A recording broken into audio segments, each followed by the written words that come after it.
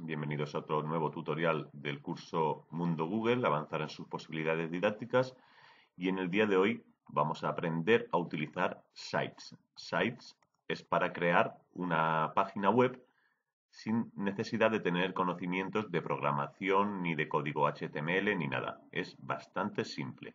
Accedemos a través de aplicaciones de Google, como siempre, a sites. Al entrar en la página tenemos varias opciones que es crear, eh, sitios, mis sitios de murciaeduca.es, sitios eliminados o examina sitios.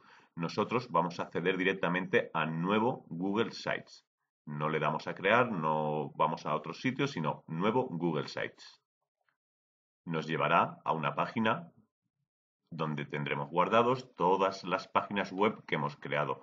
Estas son páginas que o bien he creado yo o bien han compartido conmigo. Podremos acceder a ellas haciendo doble clic o Podremos cambiarle el nombre, eliminar o abrir en otra pestaña. Cada una de estas páginas, como veremos más adelante, están guardadas en nuestro Drive. Y para crear una página nueva, tan solo debemos darle al más, crear un sitio web.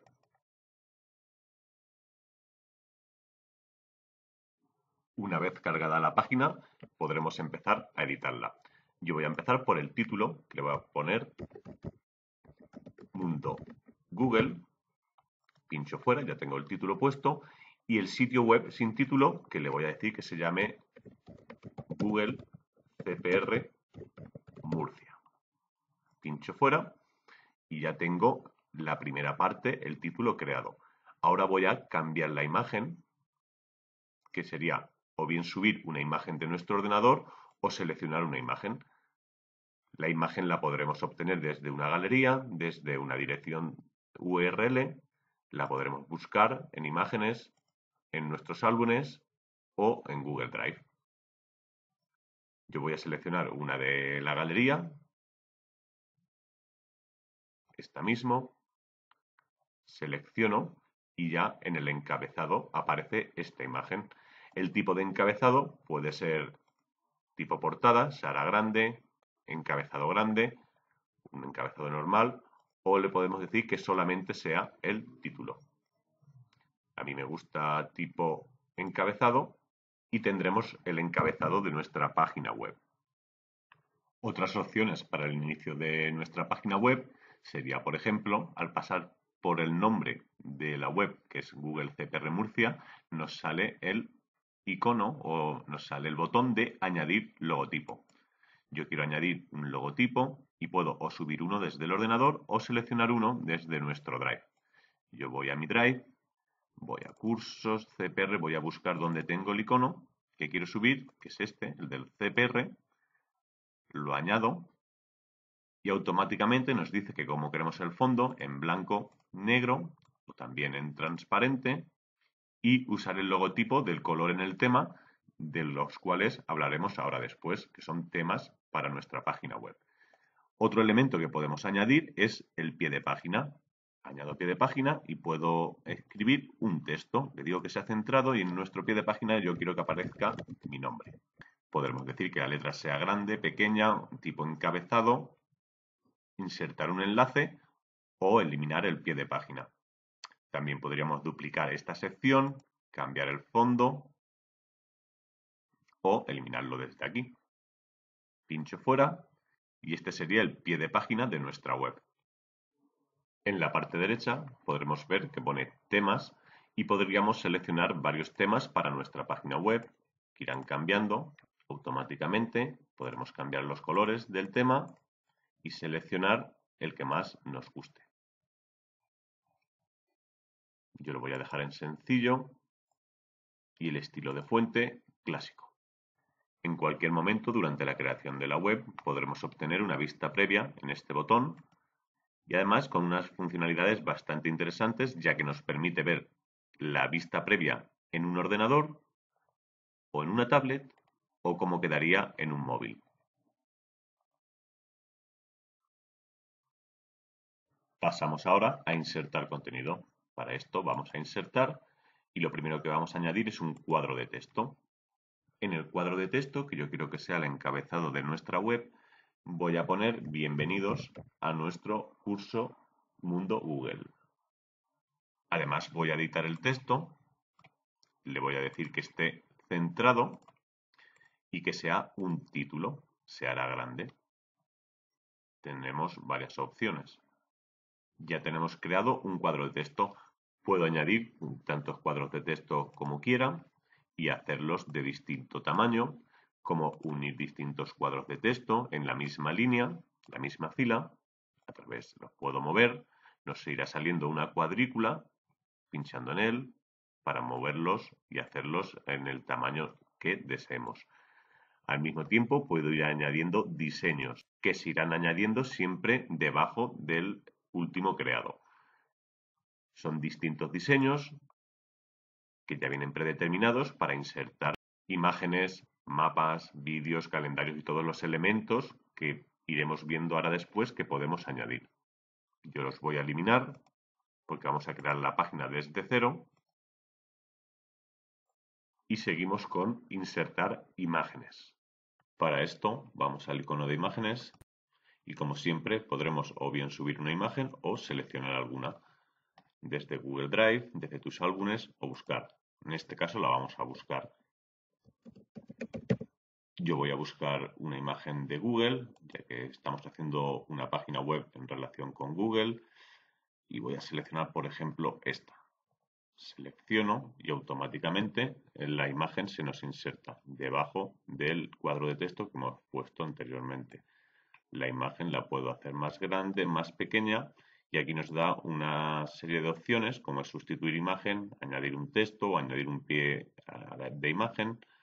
También puedo anular el recorte y cuadrar la imagen perfectamente al cuadro o recortar, que con esta opción puedo hacerla más grande o más pequeña.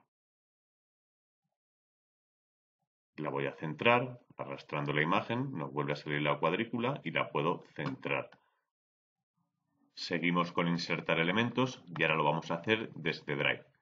Cuando pinchamos en el icono, nos sale nuestra unidad de Drive con todos los documentos que tenemos y vamos a ver cuál es la forma de insertar un documento. Por ejemplo, vamos a insertar un documento en PDF, precisamente el PDF de este curso que estamos haciendo. Pinchamos en el documento y le decimos insertar. Automáticamente nos vuelve a crear un cuadro con el documento que acabamos de insertar. Si voy a vista previa, vemos que aquí tenemos el documento en PDF, que lo podremos hacer más grande o más pequeño, y como se vería en la tablet o en el móvil. Cierro la vista previa y vemos que se nos ha cambiado el orden. Se nos ha puesto la imagen abajo y el documento arriba. Siempre lo vamos a poder cambiar. Vamos aquí a la parte izquierda del bloque, lo subimos para arriba y se nos cambia de lugar. Yo voy a centrar el documento en PDF y lo voy a hacer un poco mayor. A la izquierda de cada bloque siempre nos saldrá un menú, el cual nos da las opciones de cambiar de color, cambiar el fondo del bloque o incluso seleccionar una imagen, igual que siempre, desde una URL, buscar desde la galería para ponerlo como fondo. Le iremos dando a nuestra página web el formato deseado. Vamos a ponerle a este otro fondo distinto, en este caso va a ser este, y vemos cómo se nos va quedando nuestra web. A continuación vamos a insertar una página web y nos dice que la podemos insertar desde una URL o insertar el código. Nosotros vamos a buscar una página web, en este caso tengo aquí la de el CPR de la región de Murcia, copio la dirección, me vuelvo a insertar desde la web y la pego y nos dirá que si queremos insertar la página entera, decimos que sí, insertar. Tendremos una página web dentro de nuestra página web. Vamos a ver cómo queda. Modo ordenador, el PDF y la página web.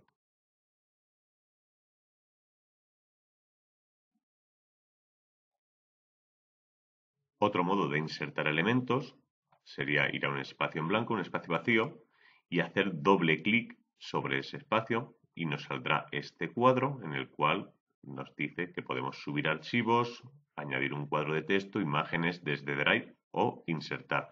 Lo mismo que tenemos en este menú. Recordar que es haciendo doble clic. Por último, en el menú Insertar podremos añadir un divisor, que es simplemente una línea que nos separa bloques, vídeos de YouTube por el mismo procedimiento, calendarios, mapas, documentos, presentaciones, hojas de cálculo, formularios y gráficos. No vamos a ver cómo se hace cada uno porque siempre es el mismo procedimiento, solamente veremos posteriormente insertar botón. Pasamos ahora a la parte de páginas, que viene a ser las distintas secciones de una página o lo que es el menú de una página web. En primer lugar tenemos la página de inicio, que es en la que estamos. Si pinchamos en los tres puntitos que aparecen a la derecha, podremos o bien duplicar la página, ver las propiedades o añadir una subpágina a la página de inicio. Vamos a ver las propiedades y yo ya le he puesto que esta página se llame inicio.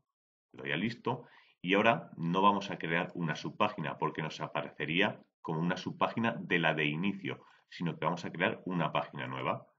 Pinchamos en el más de abajo y le damos un nombre. La vamos a llamar Sites porque vamos a crear una página de cada una de las aplicaciones de Google. Le damos a listo y vemos como en el menú de arriba ya nos aparece la página de inicio y la página Sites. Una vez que estamos en Sites, podemos volver a cambiar la imagen del encabezado. Ahora le voy a poner esta. Y a partir de aquí iremos añadiendo contenido, como lo hemos hecho anteriormente. Voy a añadir otra página nueva, que se va a llamar calendarios. Y vemos también, como ya tenemos, inicio, calendarios o sites. Ahora voy a añadir una nueva que se va a llamar documentos. Le doy a listo. Aquí la tenemos, documentos, pero ahora voy a añadir dos subpáginas. Una que se va a llamar documentos de Google y sobre documentos creo otra subpágina que se va a llamar hojas de cálculo.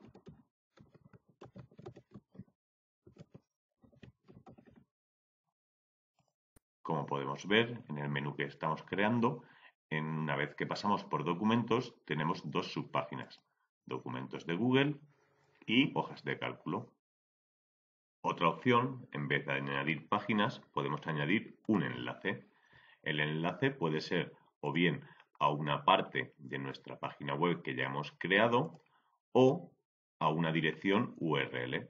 Yo, por ejemplo, voy a coger la dirección de ayuda de Google Sites, le doy a copiar con control C, vuelvo aquí y la pego. El nombre le voy a poner ayuda sites. Le doy a listo y en el menú se nos ha creado otro ítem que cuando hago clic en él nos lleva directamente a la página de Ayuda Sites. Vuelvo a la página y para terminar la parte de edición del contenido de nuestra web vamos a insertar un botón y vemos para lo que sirve. El botón lo que nos va a hacer va a ser llevarnos a otra parte de la página web. Es igual que si fuera un enlace a otro lugar de nuestra web. Le voy a poner inicio, por ejemplo, a este botón, inicio, y el enlace le voy a decir que nos lleve a inicio. Le damos a insertar y aquí se nos añade un botón. El botón lo podemos hacer más grande, más pequeño o eliminarlo. Cuando yo le doy a inicio, desde aquí no porque es la parte de edición, pero si yo me voy a vista previa, voy a la parte de documentos, nos sale aquí el botón, si yo le doy a inicio, nos lleva a la parte de inicio de nuestra página web.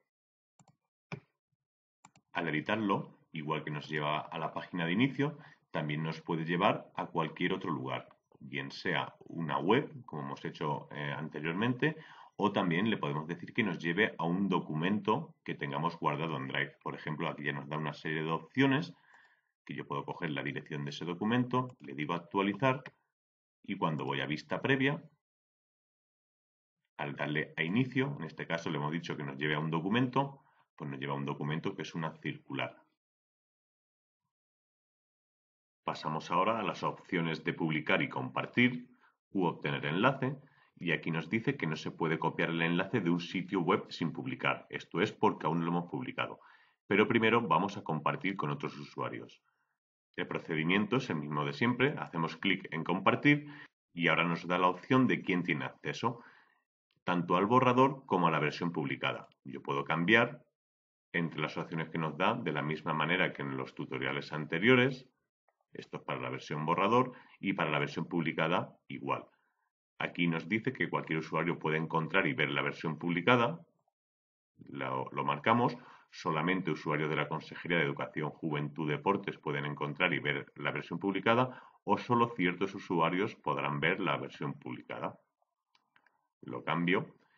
Aquí nos pone quién es el propietario de la página y podemos invitar a otras personas para que puedan o bien editar o solamente ver lo que está publicado. Yo no la voy a compartir con nadie ahora mismo, pero sí que vamos a publicar. Para publicar la página hay que darle una dirección. La dirección que va a aparecer por defecto es https sites.google.com barra murciaduca.es y el nombre que nosotros le pongamos. En nuestro caso le vamos a poner mundo Google. Recordad que no puede haber espacios por el medio, ya que si añadimos un espacio nos va a añadir un guion intermedio y nos dice que el nombre contiene palabras prohibidas o reservadas. En este caso es la palabra Google. La palabra Google no se le puede poner. En este caso le vamos a poner cursos CPR y nos dice quién puede ver mi sitio Cualquier usuario de la Consejería de Educación, Juventud y Deportes lo podemos gestionar. Nos saldrá el menú de compartir que acabamos de ver o le damos directamente a publicar. Ahora mismo la página ya está publicada y el enlace del sitio publicado es el que aquí encontramos. Podemos copiar el enlace y para comprobarlo, si nos vamos a una página nueva, lo pegamos, control V, pegar ya podemos ver que nuestra página web está publicada para todo el mundo.